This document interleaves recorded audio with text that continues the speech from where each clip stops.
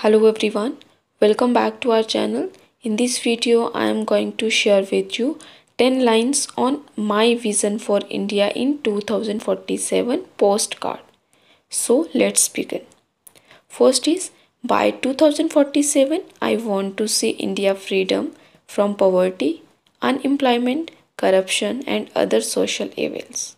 Number 2, poor children should get an education. Number 3, there should be no gap between rich and poor.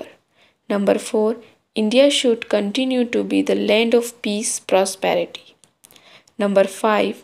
Our country should continue to be secular. Number 6. The entire world respects and recognized the strength of India. Number 7. I aspire that our country should become the largest economy in the world by 2047. Number 8. We all should work together to achieve it in the next 25 years. Number 9.